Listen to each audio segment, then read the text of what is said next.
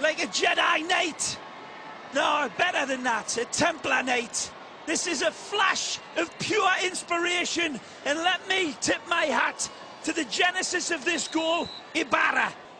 Lionel only absolutely lights it up here. He lifts off it, flamethrowers it past. Poor Rennie Vega. It's just as well Rennie didn't get a hand